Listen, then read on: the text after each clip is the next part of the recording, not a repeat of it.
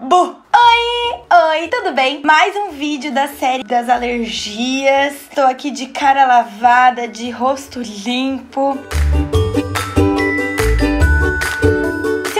Acabou de cair nesse canal justamente por conta do título, né? Produtos para peles sensíveis, para peles com alergias. Resumidamente, há pouco tempo eu descobri que eu tenho uma alergia a um pigmento. Eu vou deixar o vídeo aqui no box de informação que eu expliquei como que foi, como que eu descobri, que tipo de reação eu tenho. E hoje eu vim aqui mostrar para vocês uns produtos de pele que eu comprei quando eu viajei lá pro Canadá. Também os vlogs da viagem estão todos aqui. Enquanto eu faço esse vídeo, por isso que eu tô assim bem pertinho, com essa cara bem limpa, eu vou falando pra vocês as impressões que eu tive durante esse mês. Então eu vou dividir esse vídeo. Hoje eu vou falar de corretivo e base. No próximo acho que eu vou falar de rímel e gloss que foi basicamente os produtos que eu comprei. Vamos colocar aqui as nossas orelhinhas. Ah, que meiga. Eu sempre gostei de maquiagem, mas eu não sou uma maquiadora, eu não sou uma expert nesse assunto.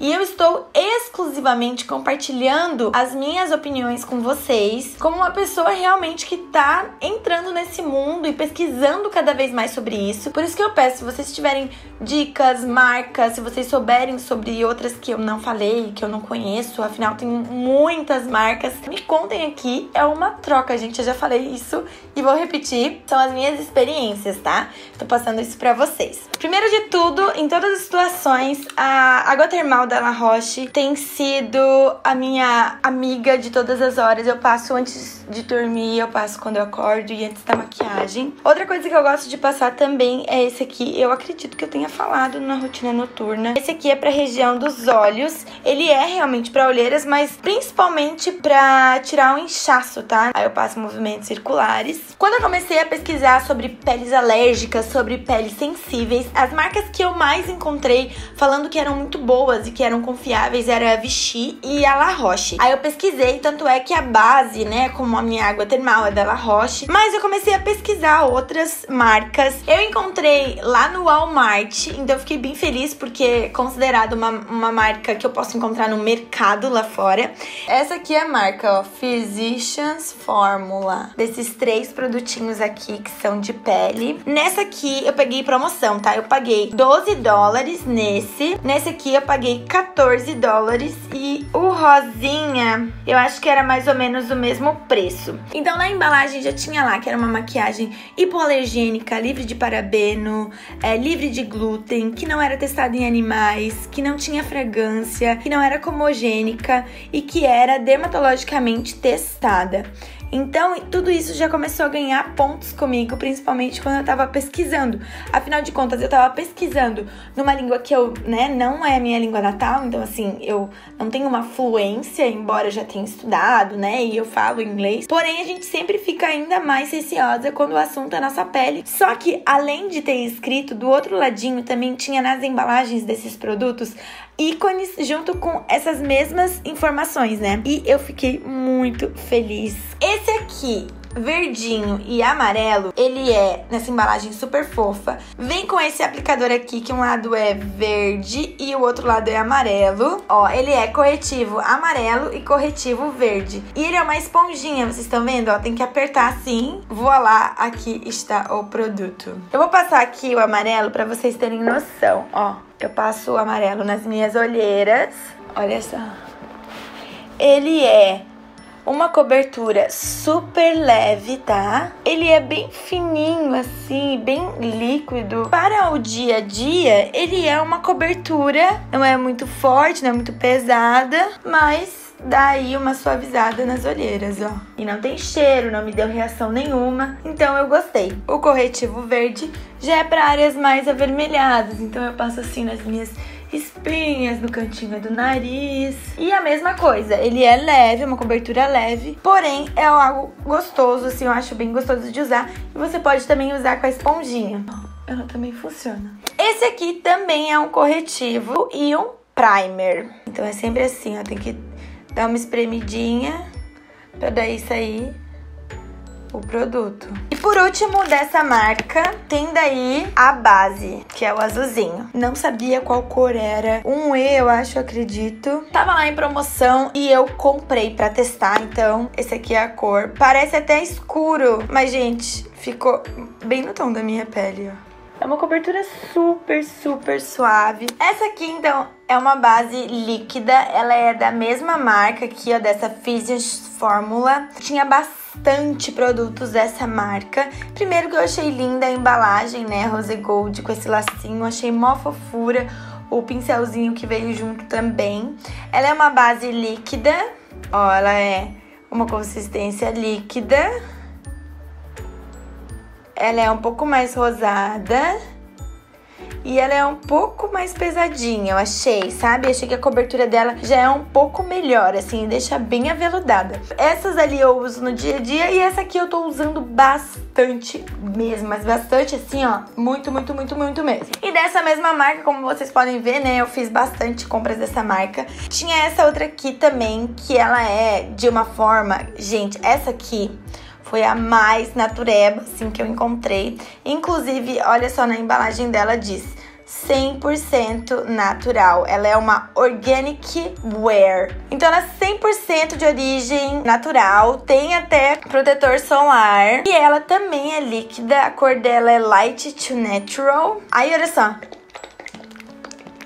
Conseguem perceber? Tipo assim, ela é bem, bem líquida. Ela espalha super bem porque ela é super líquida, né? Mas o mais engraçado é o cheiro. Gente, o cheiro dela é um cheiro de chá. É muito estranho. Quando eu tô colocando ela no rosto, parece que eu tô colocando chá. É um cheiro de chá. Eu particularmente gosto, tem um cheirinho natural. Uma cobertura leve. Eu acho que todas elas são cobertura leve, sabe? E como eu estava lá no Canadá e há um tempo, um tempo antes de eu ir, a Lu Ferreira, né, chata de galocha, e a Carol Pinheiro foram.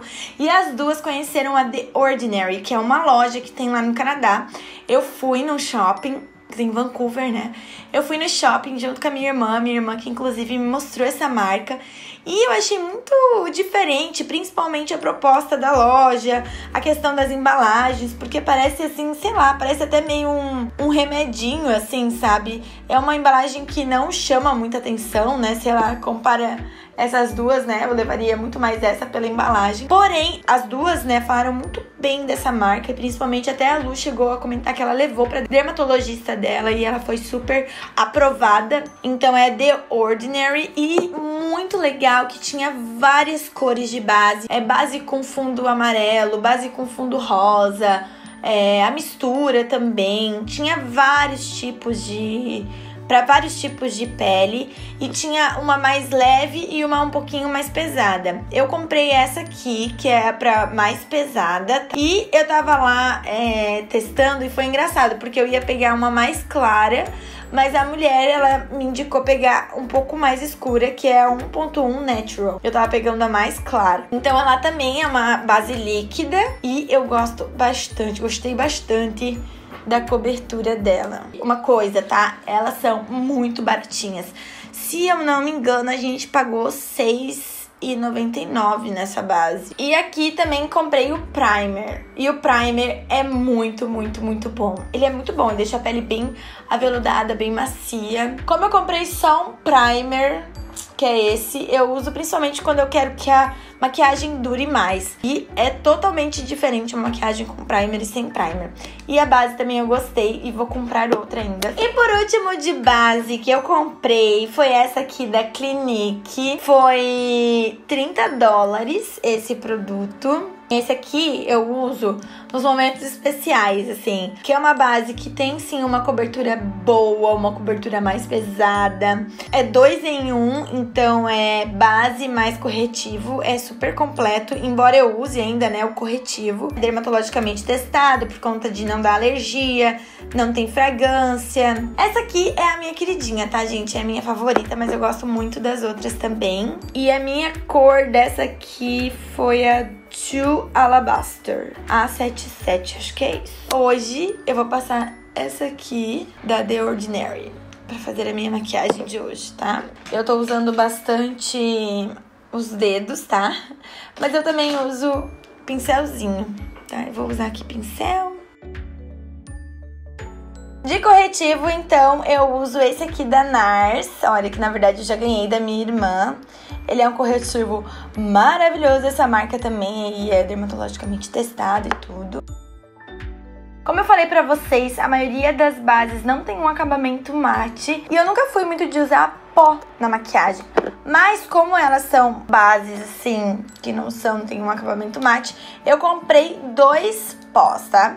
Um da, que tá todo sujo, ó, da Almei E outro da Physicians Formula, que é a mesma da base, das bases aqui que eu mostrei pra vocês, dos corretivos. O que eu mais gostei dessa Physicians Formula, primeiro que o preço era mais barato de todas disparado e tinha muitas coisas em promoções e principalmente no mercado. E outra coisa é que nas embalagens vinha muito especificado que era vegana, que não era pensada em animais, que era uma marca livre de parabeno, de um monte de substâncias que eu não posso usar, né? Que eu tô evitando usar. Aí esse pozinho, ó, vem com esse aqui que eu vou usar, ó. Vem com um aplicador bem bonitinho.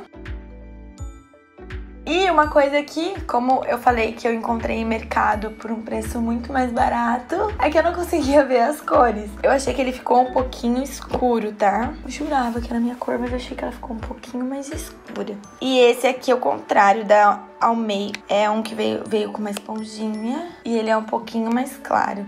Então, às vezes, assim, ó, na região do olhinho aqui, ó, que a gente faz, a gente passa mais clarinho, né? E para finalizar essa pele, então, gente, falta o quê? Falta o contorno, né? E o contorno, eu comprei esse aqui da Vazante Brazilian Bronzer, que é Mineral Powder. Eu achei muito bonito a cor. E eu pensei o quê? Vou usar como, como contorno. Que eu aqui, ó, pra cima da maçã. Na testinha e no nariz.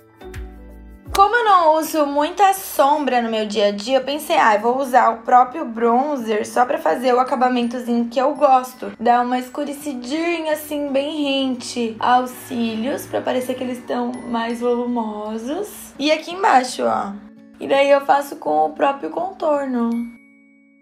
Então esse é o resultado da minha pele, ó, assim é a minha preparação de pele, né? Esses são os produtos que eu uso, variando aí entre uma base e outra, entre um pó e outro corretivo. Eu tô gostando bastante. O que eu percebi é lógico que, principalmente essas da, da Physician, tem uma cobertura bem leve, uma coisa bem natural. Mas como eu quero pra usar no meu dia a dia, tá ótimo, é isso mesmo que eu quero. Outro dia vocês vão ver aí a parte de rímel e a parte de batom que são outros produtinhos que eu comprei. Eu espero muito que vocês tenham gostado. Como eu falei já no outro vídeo, falei um pouquinho nesse, eu não sou uma expert em maquiagem. Mas eu fico muito feliz em encontrar produtos, principalmente que são veganos, que são orgânicos, que quanto mais naturais, assim, tem despertado um interesse enorme da minha parte de usar e de conhecer também esses produtos. Eu acho que a gente deve sim levar em consideração tudo que a gente coloca na nossa pele. Então é isso, gente! Muito legal, muito legal me maquiar com vocês. Eu adoro me maquiar com vocês. Se você gostou desse vídeo, dá um like aqui, me segue nas redes sociais, se inscreve no canal. Beijo, beijo, beijo. Tchau, tchau, tchau, tchau.